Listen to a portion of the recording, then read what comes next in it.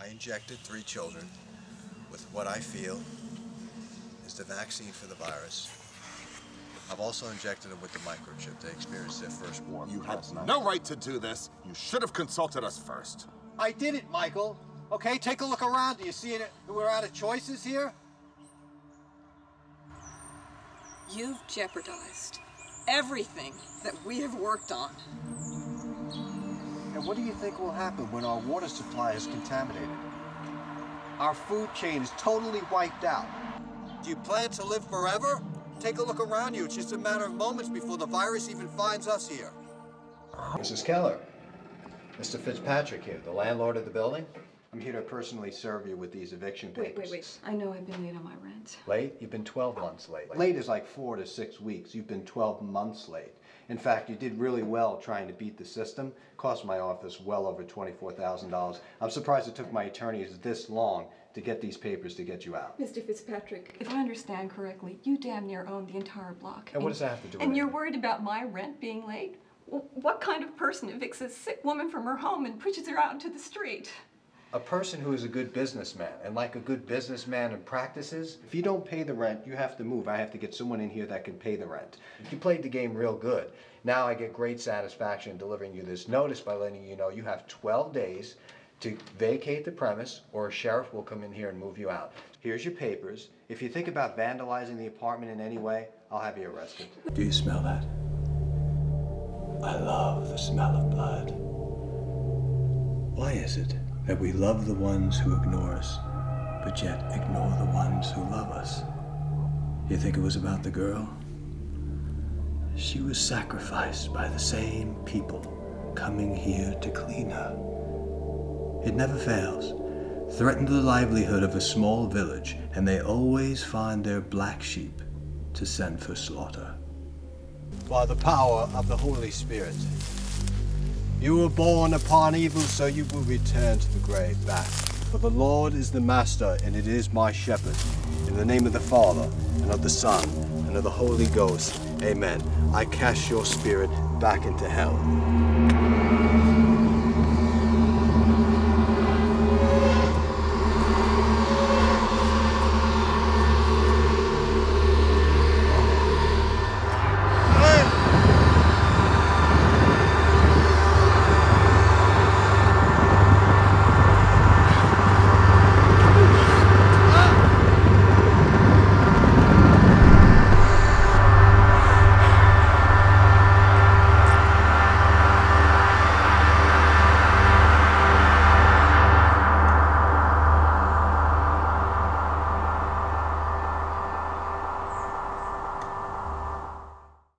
So we know each other for a long time, right? Right. Keep a secret. Absolutely. I've been getting these headaches lately. You know, these, Right. uh, can't explain it. It's kind of weird. It's not. It's not your average headache. It's uh, getting these these. It's not a pain in my head. It's more like a voice. I know it sounds crazy, but the other night, get out of the shower and comb my hair, and a very distinctive voice telling me you've been selected. And kind of brushed it off. Thought maybe it was someone in the house talking or radio on, stuff like that. But again, it was so distinctive, like I, I, I know it was there.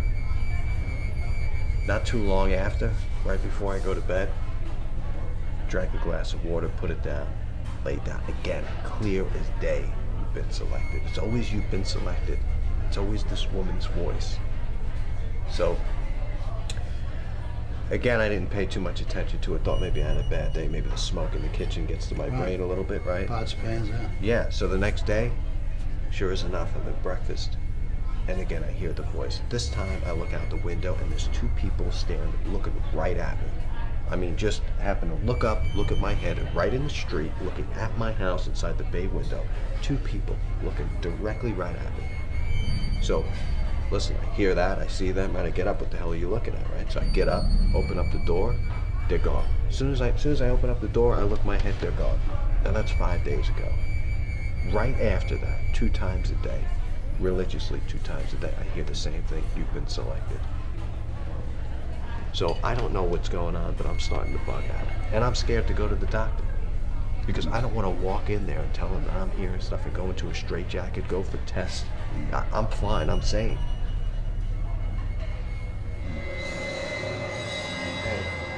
Get right back to you. What is it that you want from me? You're following me. You know where I live. What? What do you want? You've been selected. Come with us. Why is it I can hear your voice and not see your lips move? Enough is enough. All right? If this is some kind of sick prank, I want nothing to do with it. Okay? I'll have both of you in jail before the end of the day. You're trespassing on my property. Okay? You want a handshake? I'll let you go. Tired of watching boring cooking shows? Oh, we keep Corey Apple. Hi, I'm Chef Joe Ciminera, and I've produced over 100 TV cooking show series. And I'm here to tell you about a brand new network for airing cooking shows, and it's called Foodie TV. Now, Foodie TV is looking for new faces, new concepts, and new show ideas for its network lineup. So if you think you have what it takes, submit a video at the bottom of the screen, and you can go from that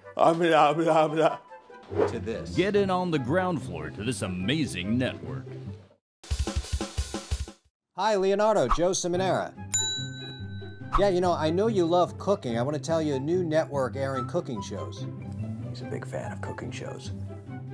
Yeah, it's called Foodie TV. Hey, you can even catch your favorite cooking shows like Firehouse Kitchen, Healthy Living, Therapeutic Cuisine, The Story of Cooking, Regal Fare, The Untamed Chef, and Stress Free Cooking. This isn't Leonardo DiCaprio, the actor? Wrong Leonardo? Sorry. This is the last time I get a number from Martin Scorsese.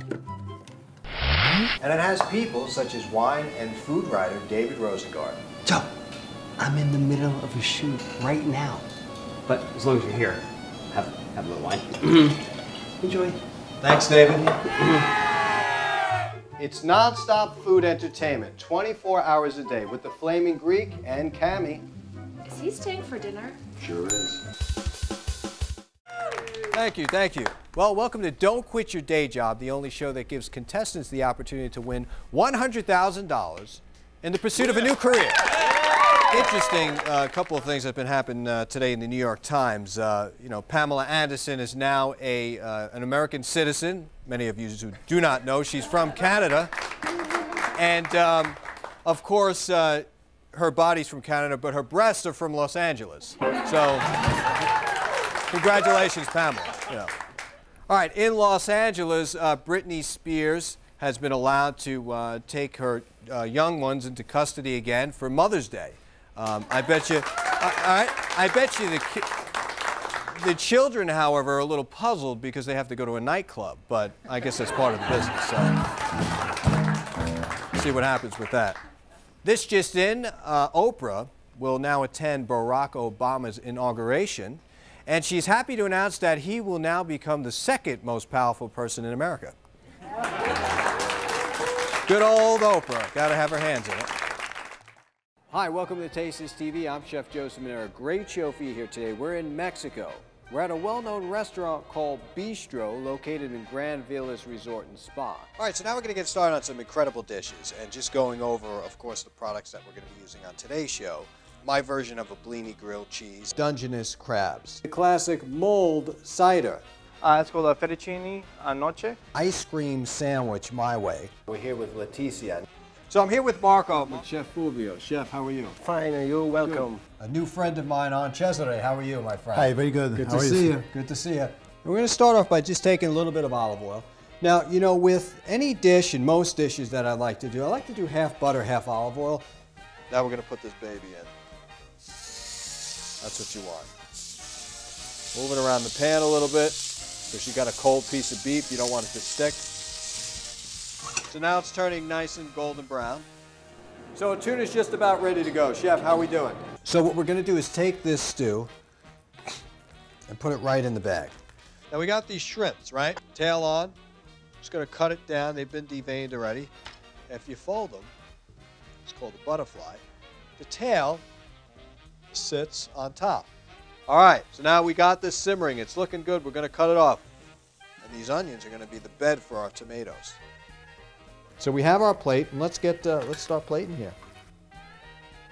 Putting them on top like that, they're still absorbing some of the breadcrumbs. Put a little bit of that in there. Check this dish out with the apples. I'm sure you're going to be amazed at this one. Well, that's going to end it for this segment of Taste This TV. I'm your host, Chef Joe Ciminera. Remember, there are no rules in cooking. Taste this.